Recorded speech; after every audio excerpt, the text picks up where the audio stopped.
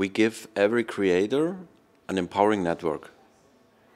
That means it's not just anyone that because we curate you have to apply it factory not because we're very premium it's because we want to uh, give the people who have mutual benefits from and share the experiences and uh, the qualities here.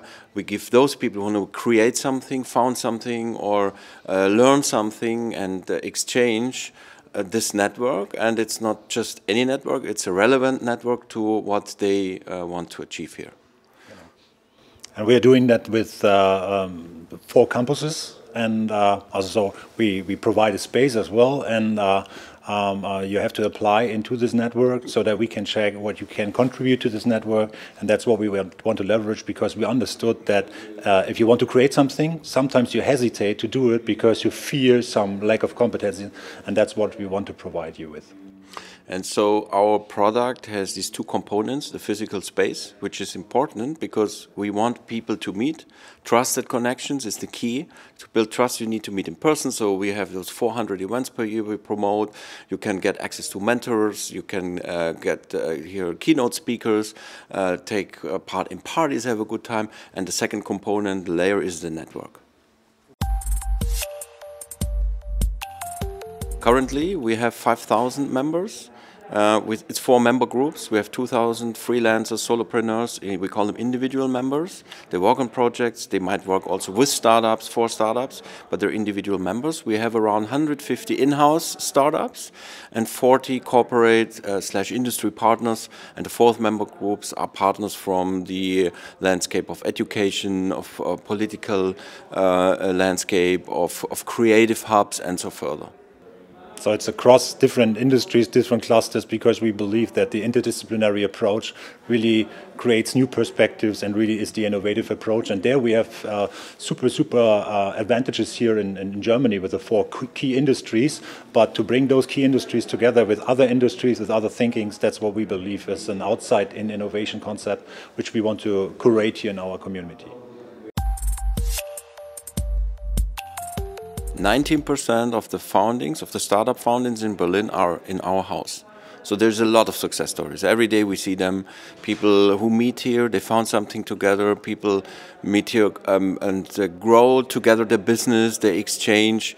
So uh, just today, for instance, I personally met, I ran into one member and uh, you you ask, what do you do?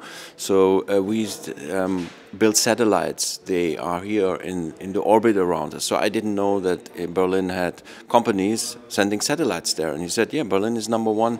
And from his company on, already 24 satellites were in the orbit. So this, this is this success stories because he has his company here in factory. And uh, that is what drives at least us to see all these success stories.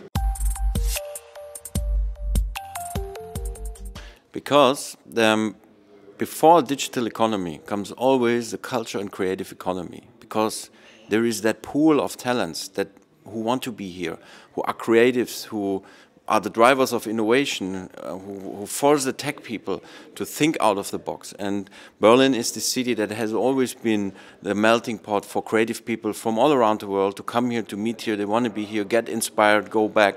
And it's been a long time where people in the market said, yeah, actually Berlin is the place, is the place. And then especially in the last 10 years when it comes to the tech industry, we saw really um, this like really rising in, in, Germany. And there's no other city in Germany from that perspective. I think because of this um, creative history and the focus on the individuals, there were individual ideas and that's why e-commerce, for example, grew up here, right? And uh, uh, why these network activities on an individual level. So probably on the industrial uh, uh, focus, there's uh, the Ruhr area or the, the, the Munich area is, is, is uh, ahead of that. I mean, it's even also, it's the biggest uh, city in Germany. I know. So, I mean, that's also, there are some reasons why then co-working was created here and based on co-working, people met and uh, founded companies and they didn't found the next IBM, but they founded the first e-commerce things. And based on that mindset, people understood they can be confident to found something. And that's the mindset you feel here very often.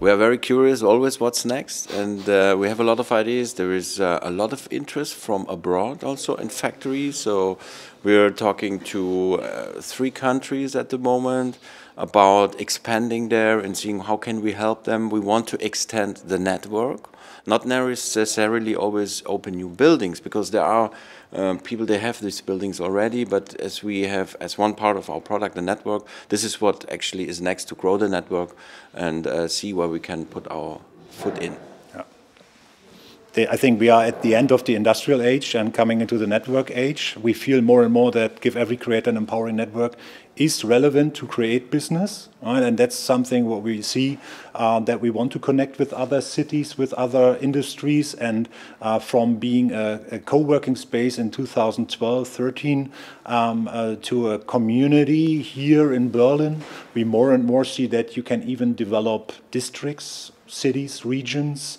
entire countries because all of them are based on network effects and network connections. And um, that's where all those opportunities come from, as Martin said.